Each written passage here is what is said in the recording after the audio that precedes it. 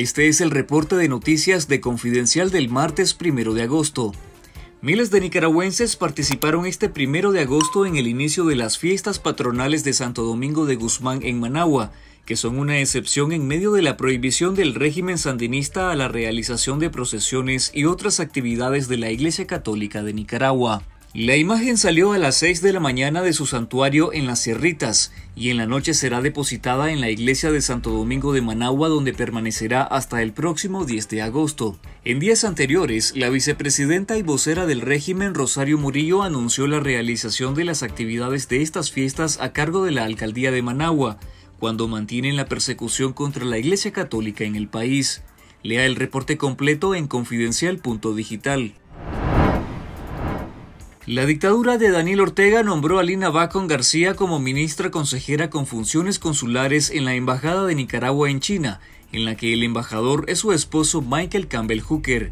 La nueva ministra consejera no tiene estudios diplomáticos o experiencias previas en otras embajadas y su profesión es dermatóloga, mientras que su esposo recién ocupó el cargo en mayo pasado.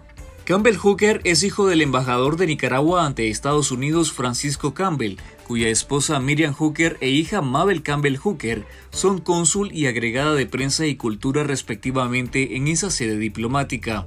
Lea la noticia completa en confidencial.digital.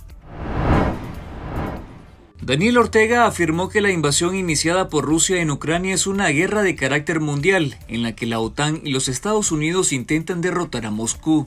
Entonces allá no es una guerra entre la Federación Rusa y Ucrania.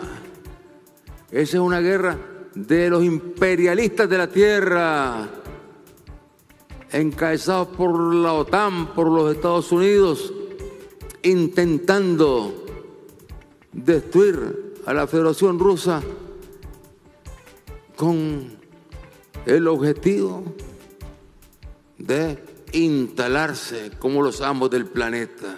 Ortega se presenta como el único defensor de la invasión rusa en América Latina. Incluso fue el único país que no firmó la declaración final de la cumbre de la Unión Europea y la CELAC en contra de la guerra en Ucrania.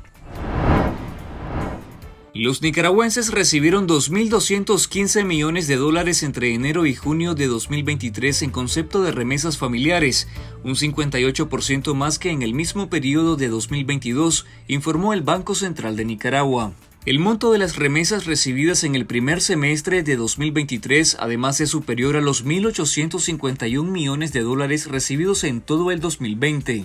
Del total de remesas recibidas entre enero y junio de 2023, el 82% provino de Estados Unidos, es decir, unos 1.800 millones de dólares. Lea la noticia completa en confidencial.digital. El presidente mexicano Andrés Manuel López Obrador confirmó un acuerdo con Estados Unidos para que esa nación acepte solicitudes de asilo de migrantes en territorio mexicano, mientras que México instalará un espacio internacional multipropósito en el sur del país para atender a extranjeros. Estados Unidos anunció la semana pasada que aceptará peticiones de asilo de nicaragüenses, cubanos, haitianos y venezolanos que ya están en México a la espera de cruzar a territorio estadounidense. El mandatario reconoció el compromiso de México en crear un espacio en el sur del país para ofrecer nuevas opciones de asilo y de empleo a migrantes, pero no dio detalles sobre su ubicación o fecha de apertura. Gracias por ver este video y si aún no lo has hecho, suscríbete a nuestro canal en YouTube, activa las notificaciones para recibir las noticias del momento sobre Nicaragua.